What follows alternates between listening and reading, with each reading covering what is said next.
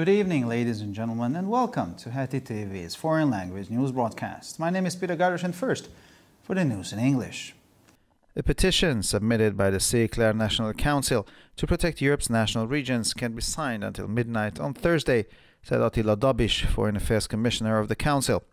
We've been collecting 60 to 70,000 signatures per day recently, he said, adding that at this rate, they have good chances of collecting the necessary 1 million signatures. The number of online signatures currently stands at 700,000 and the number of paper-based signatures at 200,000. The goal of the Citizens Initiative is to convince the EU to take into account each region's national characteristics when distributing EU cohesion funds aimed at eliminating economic disparities. They started to collect signatures on the 7th of May last year. 1 million signatures must be collected until the 7th of May this year from at least seven member states for the European Parliament to start paying attention to the issue. The petition is available at irdala.hu and nemzetiregiók.eu. British Prime Minister Boris Johnson said that daily coronavirus tests must reach 200,000 until the end of the month. Johnson himself has fallen ill with COVID 19. He was hospitalized for one week and put on life support for three days.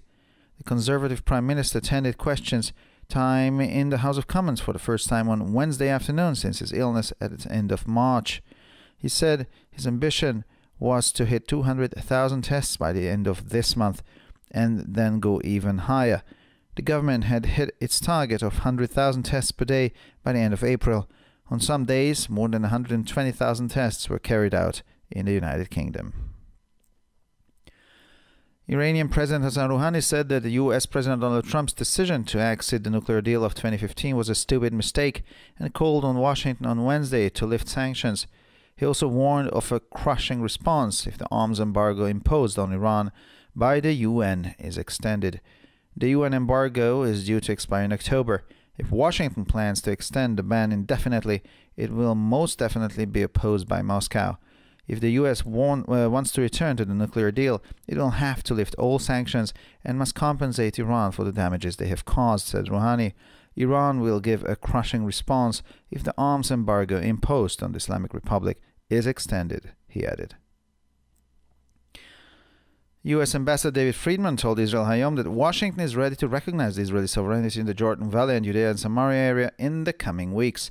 Friedman said that several processes must be finished before this step can be finalized.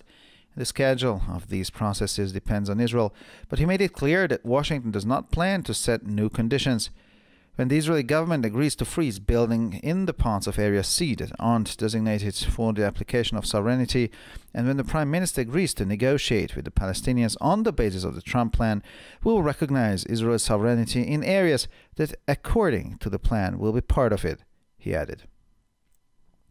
And finally, for the weather, Friday will be sunny with only a few patches of clouds in the sky. No rain is expected.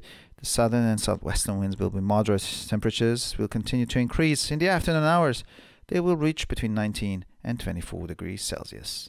For further news, please visit our websites at www.hetitv.com or breuerpress.com. Thank you for your attention so much for the news in English, and now for the news in German.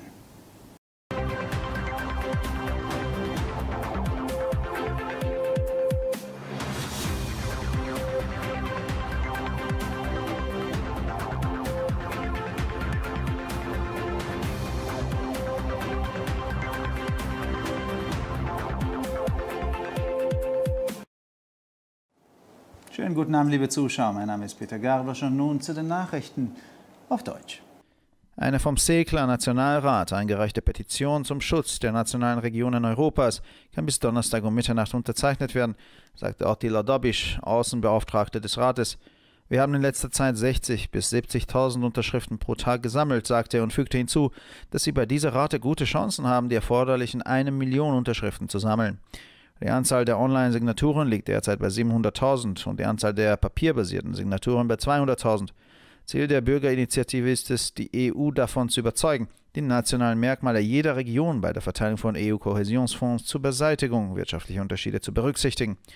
Sie begannen am 7. Mai letzten Jahres mit dem Sammeln der Unterschriften. Bis zum 7. Mai dieses Jahres müssen sie eine Million Unterschriften von mindestens sieben Mitgliedstaaten gesammelt werden, damit das Europäische Parlament sich mit dem Thema befasst.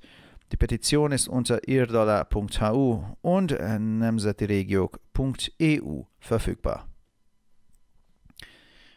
Der britische Premierminister Boris Johnson sagte, dass die täglichen Coronavirus-Tests bis Ende des Monats 200.000 erreichen müssen. Johnson selbst ist an Covid-19 erkrankt worden. Er lag eine Woche lang im Krankenhaus und wurde drei Tage lang lebenserhaltend behandelt. Der konservative Premierminister nahm am Mittwochnachmittag zum ersten Mal seit seiner Krankheit Ende März an der Fragestunde im Unterhaus teil. Er sagte, sein Ziel war es, bis Ende diesen Monats 200.000 Tests pro Tag zu garantieren und dies danach noch weiter zu steigern. Die Regierung hatte ihr Ziel von 100.000 Tests pro Tag bis Ende April erreicht. An einigen Tagen wurden mehr als 120.000 Tests in Großbritannien durchgeführt. Der iranische Präsident Hassan Rouhani sagte, dass die Entscheidung von US-Präsident Donald Trump, aus dem Atomabkommen von 2015 auszutreten, ein dummer Fehler war und forderte Washington am Mittwoch auf, die Sanktionen aufzuheben. Er warnte auch von einer vernichtenden Reaktion, wenn das von den Vereinten Nationen gegen den Iran verhängte Waffenembargo verlängert wird. Das UN-Embargo läuft im Oktober aus. Wenn Washington plant, das Verbot auf unbestimmte Zeit zu verlängern, wird es definitiv von Moskau abgelehnt. Wenn die USA zum Atomabkommen zurückkehren wollen, müssen sie alle Sanktionen aufheben und den Iran für die von ihnen verursachten Schäden entschädigen, sagte Rouhani. Der Iran werde eine vernichtende Antwort geben, wenn das gegen die Islamische Republik verhängte Waffenembargo verlängert wird, fügte er hinzu.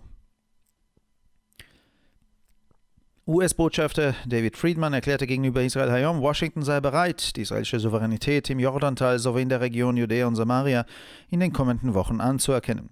Friedman sagte, dass mehrere Prozesse durchgeführt werden müssen, bevor dieser Schritt abgeschlossen werden kann, und der Zeitplan dieser Verfahren hängt von Israel ab, aber er machte deutlich, dass Washington nicht plant, neue Bedingungen festzulegen. Wenn die israelische Regierung sich bereit erklärt, Bauarbeiten in den Teilen von Gebiet C einzufrieren, die nicht Teil des Annexionsplanes sind, und wenn der Premierminister sich bereit erklärt, mit den Palästinensern auf der Grundlage des Trump-Planes zu verhandeln, werden wir Israels Souveränität in Bereichen, die laut Plan ein Teil davon sein werden, anerkennen, sagte er. Und schließlich zum Wetter. Der Freitag wird sonnig, mit lediglich ein paar Wolken am Himmel. Es wird kein Regen erwartet. Der Süd- und Südwestwind wird mäßig. Die Temperaturen werden weiter ansteigen. Am Nachmittag liegen sie zwischen 19 und 24 Grad Celsius. Für weitere Nachrichten besichtigen Sie bitte unsere Webseiten www.hettitv.com sowie www.breuerpress.com.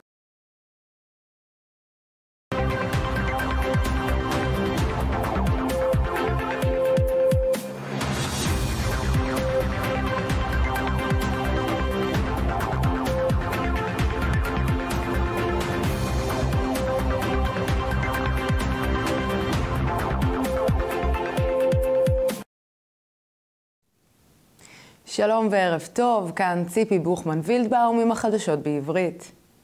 ניתן לחתום על העצומה של המועצה הלאומית הסקלרית להגנה על אזורים לאומיים באירופה עד חצות ביום חמישי. כך הזכיר עטילה דביש, ראש נציבות החוץ של המועצה. בימים האחרונים התקבלו 60 עד 70 אלף חתימות ביום, והוסיף כי בקצב הזה הם יוכלו להגיע למיליון החתימות הנחוצות כדי שהיוזמה תצליח. עד כה יותר מ-700 אלף חתימות נאספו באופן מקוון, וכ-200 אלף על הנייר. תמצית היוזמה האזרחית האירופית היא לקחת בחשבון את המאפיינים הלאומיים של האזורים, בעת הקצאת כספי הלכידות של האיחוד האירופי כדי להקטין את הפער הכלכלי. איסוף החתימות החל ב-7 במאי אשתקד ועד ה-7 במאי השנה.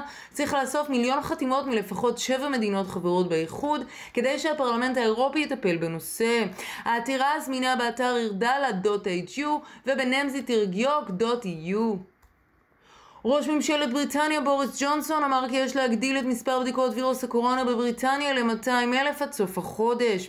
ג'ונסון עצמו עבר את מחלת ה-COVID-19 שנגרמה על ידי נגיף סארס קוב 2, אושפז למשך שבוע והצטרך טיפול נמרץ במשך שלושה ימים. ראש הממשלה הקונסרבטיבי השתתף בדיון הרגיל אחר הצהריים בבית התחתון, בפעם הראשונה מאז מחלתו, שהתחילה בסוף חודש מרץ, שם פגש את שאלות חברי הפרלמנט, ואמר כי מטרת הממשלה היא לערוך 200 אלף בדיקות בדיקות יום-יום עד סוף חודש מאי, ואפילו יותר לאחר מכן. היעד שנקבע עד סוף אפריל היה 100 אלף בדיקות ביום, ויכולת זו הושגה, ואף לאחרונה היה היום ביותר מ-120 אלף בדיקות בוצעו בבריטניה. נשיא איראן חסן רוחני אמר כי מדובר בטעות מטופשת של נשיא ארצות הברית דונלד טראמפ להפר את הסכם הגרעין הרב צדדי מ-2015 וקרא לוושינגטון ביום ד' להסיר את הסנקציות. יחד עם זאת הוא דיבר על השלכות קשות במקרה שלבקשת ארצות הברית האו"ם ירחיב את האמברגו הנשק על איראן. האיסור מצד האו"ם על כלי נשק קונבנציונליים פג באוקטובר. וושינגטון רוצה להאריך את האיסור ללא הגבלת זמן, מה שבוודאי יעמוד בניגוד לרצונה של מוסקבה. אם ארצות הברית רוצה לחזור להסכם, עליה להסיר את כל הסנקציות ולפצות את איראן על כך שהציגה אותן מחדש, כך הדגיש רוחני. איראן תגיב בצורה הרסנית אם יוארך האמברגו הנשק על טהרן, כך הוסיף. ארצות הברית מוכנה להכיר בריבונות ישראלית על בקעת הירדן וההתנחלויות הישראליות ביהודה ושומרון בשבועות הקרובים. כך אמר דויד פרידמן, שגריר ארצות הברית בישראל, ישראל היום. פרידמן הסביר כי יש לסיים מספר תהליכים לפני השלמת צעד זה, ואמר כי סדר היום תלוי בעיקר בישראל, אך הבהיר כי בוושינגטון אין שום תוכניות לכפות תנאים חדשים על כל התהליך. לדברי השגריר, כשלממשלת ישראל מסכימה להפסיק את בניית ההתנחלויות באזור C, שאינו חלק מתוכנית הסיפור, הסיפוח, וכאשר ראש הממשלה בנימין נתניהו יסכים לנהל משא ומתן עם הפלסטינים במסגרת תוכנית השלום במזרח התיכון של דונלד טראמפ, ארצות הברית תכיר בריבונותה של ישראל באזורים השנויים במחלוקת. ועכשיו נעבור לתחזית מזג האוויר. ביום שישי צפוי מזג אוויר מעונן חלקית כשמשקעים לא סבירים. הרוח הדרומית דרום-מערבית עלולה להתחזק במקומות מסוימים. מזג, מזג האוויר ימשיך להתחמם ואחר הצהריים צפויות בין 19 עד 24 מעלות. לחדשות נוספות, אנא בקרו באתרי האינטרנט שלנו, etitv.com או broyerpress.com. עד כאן החדשות, תודה שהייתם איתנו, ושיהיה המשך ערב נעים.